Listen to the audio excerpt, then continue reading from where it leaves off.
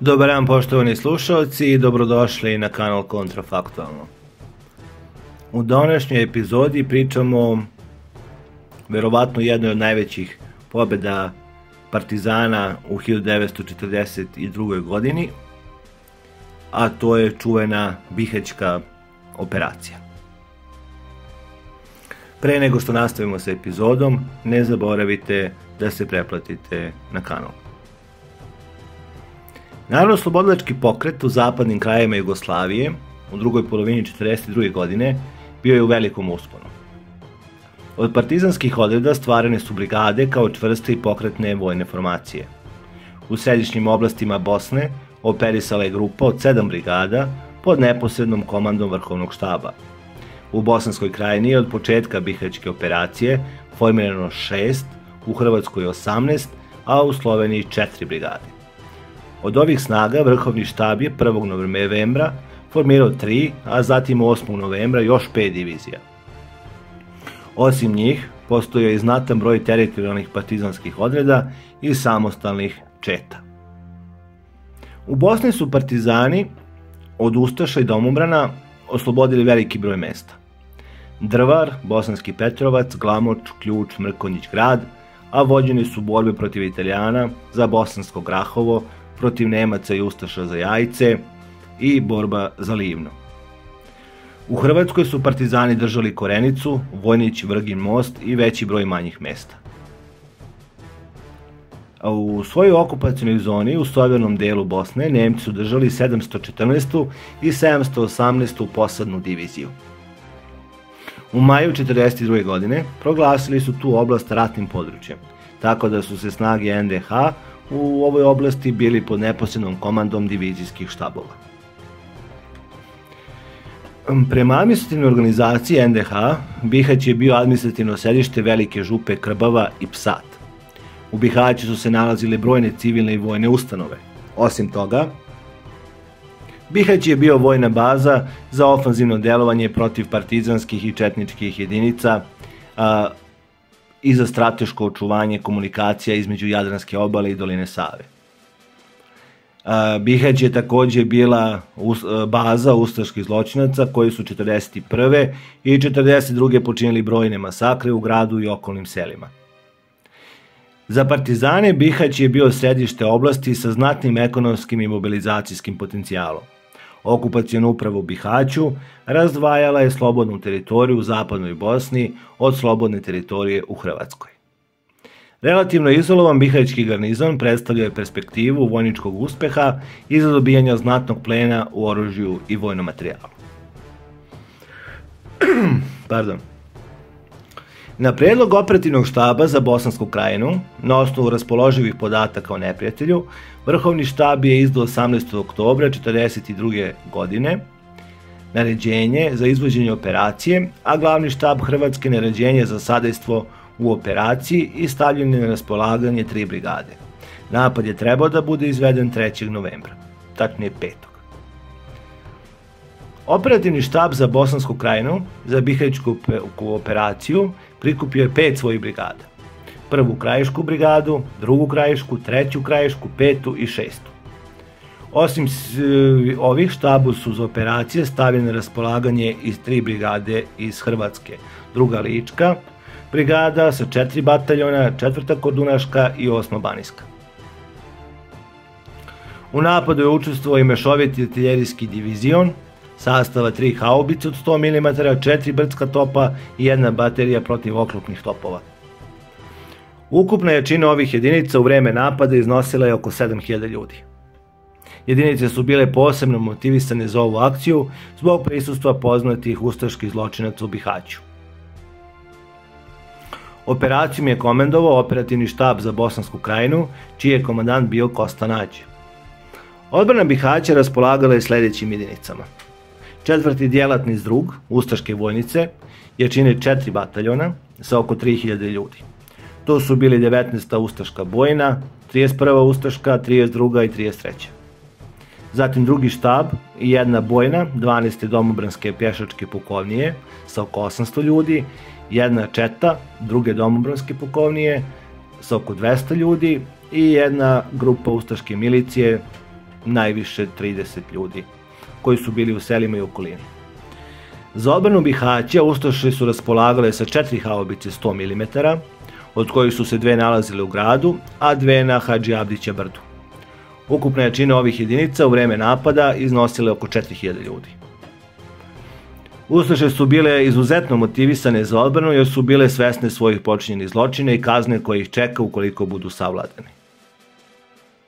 Što se tiče domobranskih jedinica, motivisanost i nije bila velika. Odbrana Bihaća bila je kružna, i to u dva pojasa. Spoljašnja odbrana Bihaća sastojala se iz istornih posada raspoređenih po okolnim mestima i lokalitetima. Neka od ovih mesta bila su dobro utvrđena i teško osvojeva, na primjer Izrečić i Ostrožac.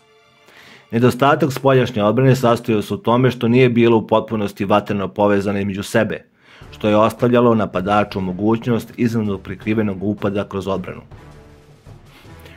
Unutrašnja odbrana sastojala se iz niza međusobno povezanih dobro utvrđenih uporišta. Naročito su dobro bili utvrđeni Somiš, Somišlje i Žegar sa Žegarskom alejom i Borikom na levoj obali Une. Neprijateljske snage u Bihaću bile su dovoljno brojne, snabdevene i utvrđene da odbiju svaki eventualni napad ili u krajnjem slučaju da se održe do dolaska eventualne pomoći iz drugih uporišta. Prema planu operativnog štaba, Trebalo je sa četiri brigade izvršiti jednovremeni koncentričan napad na Bihać i obezbediti se potrebnim snagama sa pravca Bosanske krupe i Cazina.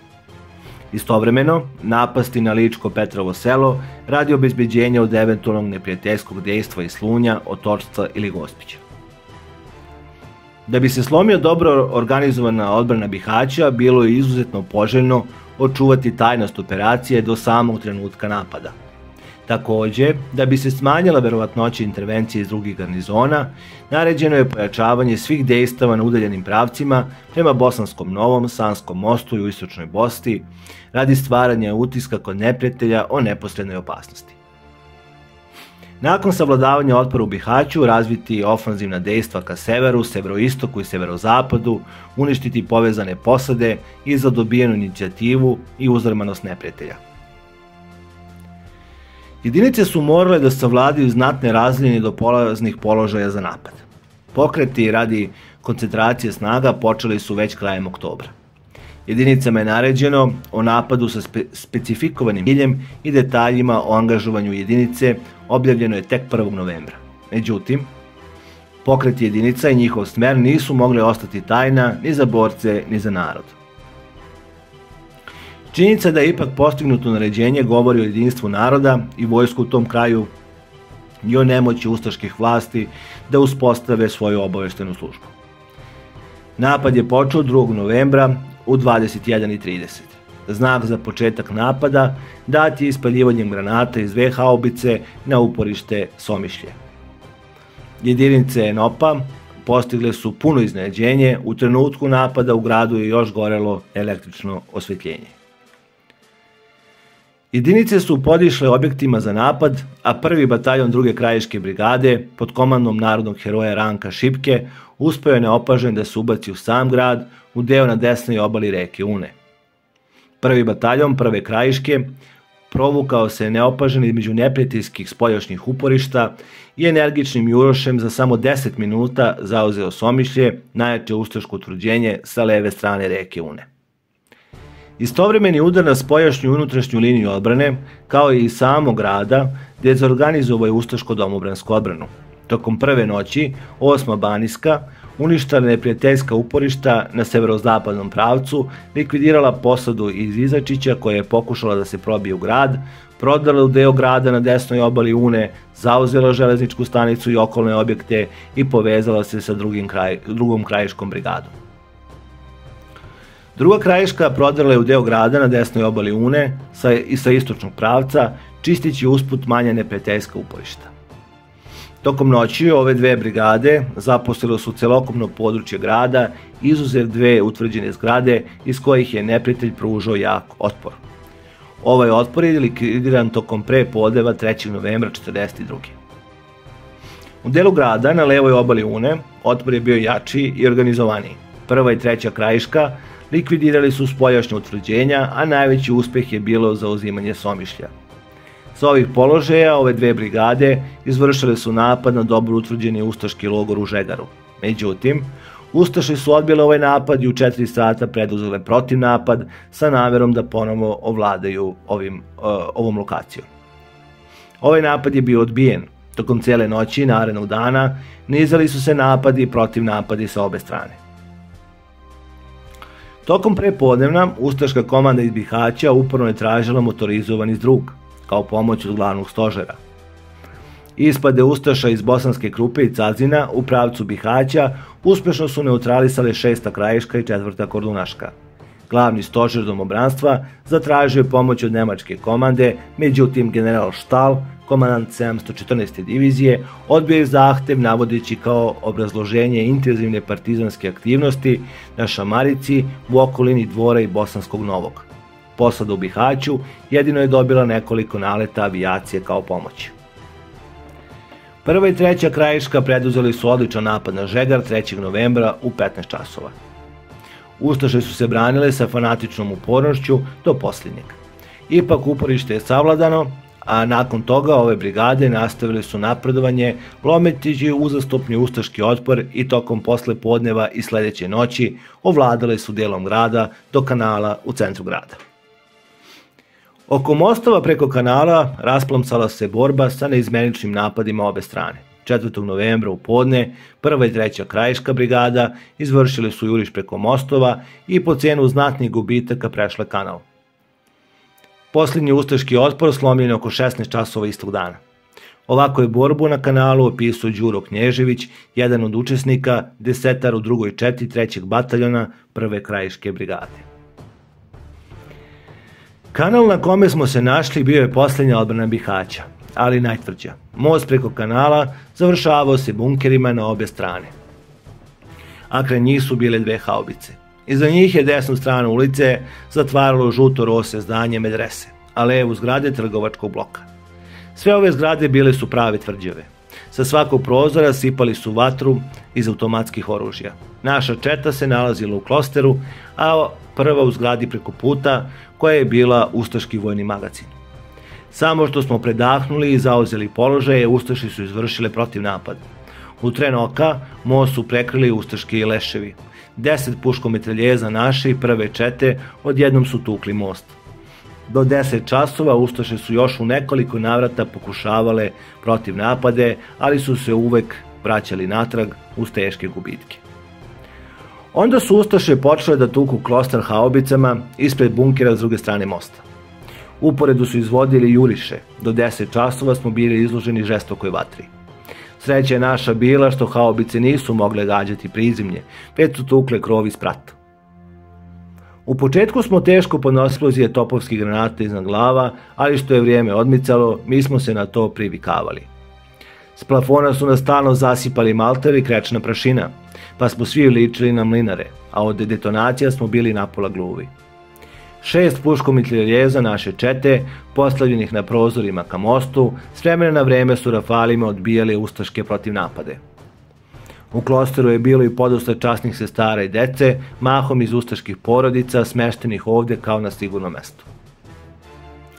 Očigledno su im svašta o nama pričali jer je bilo očito da nas se boje koliko i granata koje su nas zasipale. Posle dva sata opet se naša udarna grupa vratila na položaje. Narediše nam da se pripremimo za juriš. Bombaška grupa već je bila spremna. Predvodio je komesar Čete Kosta Bojanić. Pošto je Lazo Karanović, puškometraljejac iz moje desetine, bio u bombaškoj grupi, ja sam uzeo njegov puškometraljejac. Komesar Kosta mi naredi da bez prekida tučem puškarnicu na bunkeru s leve strane mosta. Ostali puškometraljesci i borci dobili su zadatak da tuku prozore na zgradama iz kojih se Ustaše brane. Onda otpoče uraganska vatrena priprema juriša, a ubrzo preko mosta krenuše trkom, prvo komesar Kosta, za njim Rudi Turčinović iz prve čete, pa onda ugleda Hrajka, za njime Stipu i Nikolu. Dok šaljem rafal za rafalom, vidim ih kako baciju bombe na bunker. U tom trenutku uzimam puško mitraljez i trčim za njima. Na mostu susređem Stipu, ranjenog u glavu. Malo dalje, u zid medrese, stoji naš komesar Kosta. Vidim nešto nije u redu i pitam ga šta je. Produži napred, odvrati on. Poginuše Rajko, Grahovac i Rudi Turčinović. Ja sam ranjen, ali mi gure, ali, me, ali ti gure napred i nikome ne govori o ovome. Sjurih se napred i zajedno sa grupom boraca naše čete uleteh u medresu. U istom trenutku borci prve čete upadošu u zgrade trgovinskog bloka. Još nismo bili ni zauzeli položaje u osvojenim zgradama, a Ustaše izvedoše protiv napad. Jedna njihova grupa upade u medresu, ali je začas slisti smo. Ispred medrese ka pijaci je bio brisan prostor preko koga su Ustaše nekoliko puta pokušali da nas odbace. Ali smo ih uvek vraćali nanosići im velike gubitke. Prilikom jednog od tih ustaških protiv napada nestade mi municije – viknu pomoćniku da mi brzo donese koji šaržer i u tome pritrča neki nepoznat mladić s punom torbom municije. Ostoje kraj mene do kraja borbe za Bihać i brzo mi puni dodavao šaržere. Nekoliko dana po oslobađanju Bihaća bio sam s mojom desetinom u patroli u Klokotu. S nama je bio onaj moj novopečeni pomoćnik, ali u Klokotu ga neki meštani prepoznaše kao Ustašu. Htedoše da ga linčuju, ali mi ne dozvoli smo. Po povratku iz patrole o tome smo obavestili komandu Čete i dobi smo nalog da mog pomoćnika predamo komandi mesto u Bihaću. Poslednji juriš u borbama za Bihać izvršili smo noću a, iz Medrese ka severozapadnoj ivici grada. A, Bihać je time bio oslobođen. U narednih sat dva smo se ispod neke zgrade još mogao začuti po koji pucanj. To su naši borci čistili zgrade od prikrivenih neprijateljskih vojnika. Bihać je oslobođen posle 42 sata neprekidne borbe, 4. novembra oko 4 sata posle podne. Ostatak ustaške posade koji je uspeo da se izvuče iz grada u pokušaju da se probije do Cazina upoje tokom noći u za tu svrhu postavljenu zasedu dva bataljona 5. i 6. krajiške brigade. Uprko s velikim gubicima, zahvaljujući bezuslovnoj rešenosti, grupa Ustaša je uspela da se probije preko položaja ovih bataljona. U Bihaću je kao poslovna jedinica ostavljena treća krajiška brigada, a ostale jedinice odmah su upućene prema okolnim neprijateljskim gradovima radi eksploatacije uspeha. Druga krajiška upućena je još u toku noći u pravcu Bosanske krupe radi sadejstva šestoj krajiškoj prilikom napada na ovo mesto. Međutim, 32. ustaška bojna i lokalne ustaške snage nisu sačekale napad, već su se u toku noći evakuisale u Bosanski Novi. U 8. banijskoj brigadi 4. novembra u 17 časova naređeno je da se odmah krene preko uh, Brekovice i Ostrošca ka Cazinu i da se poveže sa jedinicama 5. krajiške, odnosno Kozarske brigade i 6. krajiške. U vremenu od 5. do 15. novembra snage operativnog štaba za Bosansku krajinu oslobodile su Bosansku krupu, Otoku, Cazin i Bužim, kao niz drugih naseljenih mesta i blokirale neprijateljeve snage u Bosanskom Novom. Za to vreme snage glavnog štaba Hrvatske oslobodile su Slunj, Cetingrad, Veliku Kladušu, Vrnograč i niz drugih naseljenih mesta. Bihaćkom operacijom znatno je uvećana i povezana teritorija. U borbama od 2. do 4. ubijeno je oko 800 ustaških i domoubranskih vojnika i oficira, a zarobljeno je isto toliko. Zapaljeno je 8 artiljerijskih oruđa, 4 haubice, 3 protiv tenkovska i 1 brdski top zatim dva binobacača, preko 1500 pušaka, automata i mitraljeza. Jedinica je nova, imale su 130 poginulih i preko 200 ranjenih boraca. Zarobljeni domobrani su većinom razoružani i pušteni, dok su Ustaše uglavnom streljane. Ova praksa provođena je javno, tako da je Vrhovni štab 18. novembra izdao saopštenje o streljanju 130 Ustaša zarobljenih u Bihaću. Između ostalih streljeni su Dujmović Petar iz Zavalja, ustaša i član pokretnog prekog suda, koji je oterao u smrt desetine ljudi. Uremović Dominik iz Bihaća kao ustaša zadržao 37 Srba koji su išli na rad u Nemačku i predao ih ustaškom redarstvu, gde ih je njegov sin divljački mučio i sve ih pobio. Mlinar Ćilija iz Slavonskog broda kao zakleti Ustaša prošle godine je bacio nevine ljude u jamu i zverski ubio starce, žene i decu. Altić Mehmed, poznati krvolog, a, koji je ubio više devojaka i zverski ih mučio. Mašić Ibrica, Ustaša, organizator otpora a, prilikom oslobađanja sela Ribića. Rakela Radoslav iz Pihaća, poznati Ustaša i špion Ustaške nadzorne službe. Jerkić Franja iz Dobrovce, zakleti Ustaša i učesnik u zločinima na nedužnim stanovništvom. Ordić Hasan, pored toga što je bio Ustaša, bio i razbenik. Janković Toma, koji je bio zadužen da ubija ranjene Srbe. Bihać je postao sedište od slobodne teritorije poznate kao Bihaćka republika. U Bihaću su se odvijale žive i značajne vojne, političke i kulturne aktivnosti, a krajem novembra održano i prvo zasedanje Avne. O borbama za Bihać, čuveni Branko Ćopić je napisao knjigu Delije na Bihaću. Jedinice Nova su sa teritorije Bihaćke republike vršile ofanzivna dejstva na okolne garnizone i diverzije na komunikacije. Vođene su protiv Nemaca i Ustaša borbe za jajce, Bosanski Novi Sanski most, a protiv Italijana borbe za Livno. Bihać je bio slobodan do 29. januara 1943. kada ga je u sklopu operacije Weiss zauzela Nemačka 7. SS divizija. Nadam se da vam se epizoda dopala, ne zaboravite da se preplatite na kanal i vidimo se uskoro. Prijetno!